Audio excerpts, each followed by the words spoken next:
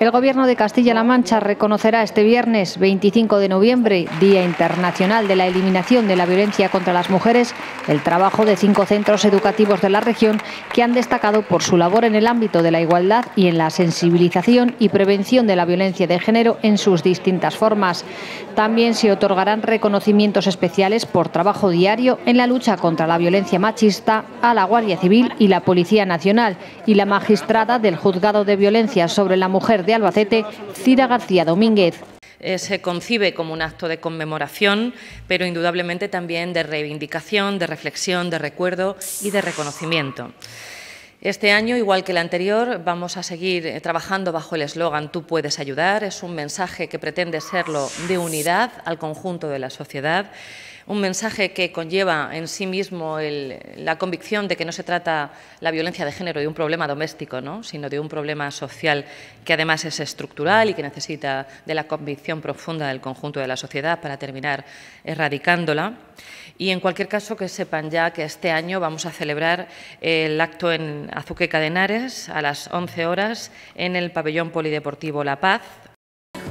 en el transcurso del acto institucional se entregarán reconocimientos a cinco centros educativos, uno por provincia, el Instituto Federico García Lorca de Albacete, el Centro de Educación de Personas Adultas Antonio Gala de Ciudad Real, el ISO Tomás de la Fuente Jurado de El Provencio en Cuenca, el Instituto de Educación Secundaria Ana María Matute de Cabanillas del Campo en Guadalajara y el Instituto La Isla de Sonseca en Toledo y vamos a reconocerle su trabajo y su labor a cinco centros educativos que a lo largo de este año 2022 han destacado por su trabajo en el ámbito de la igualdad y en la sensibilización y prevención de la violencia de género en sus distintas formas y manifestaciones. Coincidiendo con el 20 aniversario del Instituto de la Mujer, se otorgarán reconocimientos especiales a la Guardia Civil y a la Policía Nacional por ser un pilar fundamental en la lucha contra la violencia de género. Por parte mm, del Instituto de la Mujer y del conjunto del Gobierno de Castilla-La Mancha, queremos reconocer a la Guardia Civil y a la Policía Nacional, ambos cuerpos, como un pilar esencial en la lucha contra la violencia de género, por su trabajo diario en la protección de las víctimas, por ser los primeros en llegar a los casos más graves, por estar pendientes eh, no solamente de hacer su trabajo, sino muchas veces ir más allá y coordinar también otros servicios, por hacer cumplir la protección de las mujeres y sus hijos e hijas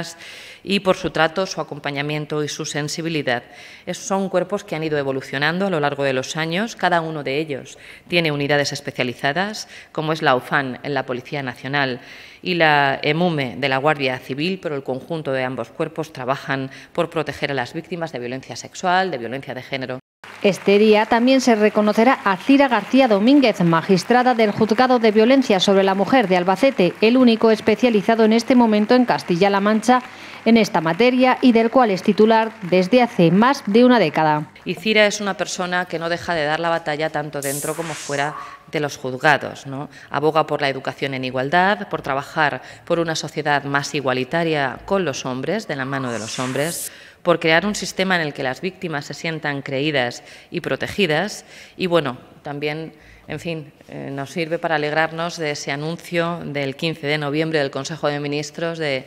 establecer en el futuro próximo un nuevo juzgado específico de violencia sobre la mujer en la provincia de Toledo.